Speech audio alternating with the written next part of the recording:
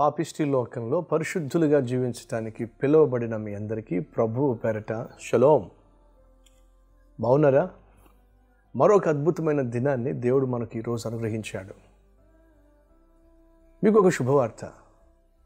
మనం సేవిస్తున్న దేవుడు కళ్ళుండి చూసేవాడు చెవులుండి వినేవాడు మనస్సుండి అర్థం చేసుకునేవాడు ప్రార్థన చేస్తే ఆలకించి జవాబిచ్చే అద్భుతమైన దేవుడు.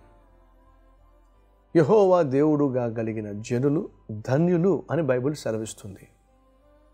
ఈరోజు చాలామంది వారికున్న సమస్యలు తీర్చుకోవడానికి వారికున్న కష్టాలు తొలగించుకోవడానికి ఎక్కడికెక్కడికో వెళ్తున్నారు ఏవేవో చేస్తున్నారు. అయినా వారు చేసేటటువంటి ప్రార్థనలకు జవాబు రావటం లేదు.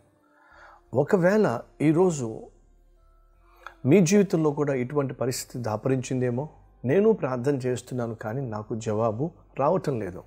అది వాస్తవం కాదు. దేవుడు మనం చేసే ప్రతి ప్రార్థనకు జవాబిస్తాడు. ఆ జవాబు మూడు రూపాల్లో ఉంటుంది.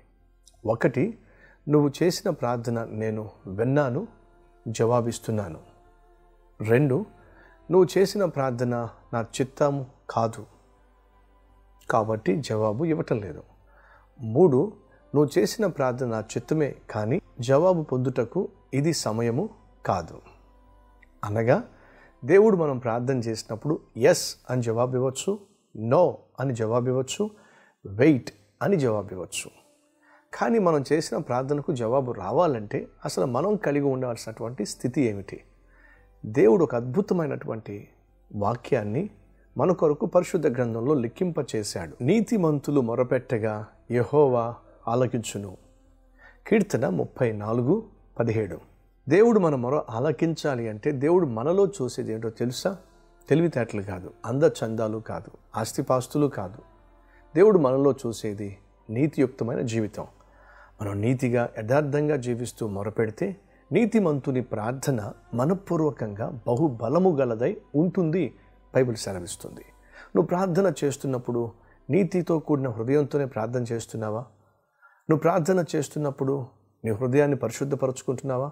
ఒకవేళ పాపంలో జీవిస్తూ పాపానికి తావిస్తూ ప్రార్థన చేస్తే ఆ ప్రార్థనకు జవాబు రాదు. ఒకవేళ ఈరోజు నీ ప్రార్థనకు జవాబు రాకపోయినట్లయితే ఈరోజే నీ హృదయాన్ని సరిచేసుకుని క్రీస్తు రక్తములో పరిశుద్ధపరచుకొని నీతిమంతునిగా తీర్చబడి ప్రార్థించి జవాబులు పొందుకోమని మనవి చేస్తున్నాను. మరి మనం చేసే ప్రార్థన దేవుడు విని జవాబిచ్చులాగా ప్రార్థన చేద్దామా? పరిశుద్ధుడు అయిన తండ్రి మేము నీతిమంతులం కాదు కానీ నీ కుమారుని సుక్రీస్తు రక్తము ద్వారా మమ్మల్ని కడిగి నీతిమంతులుగా తీర్చావు.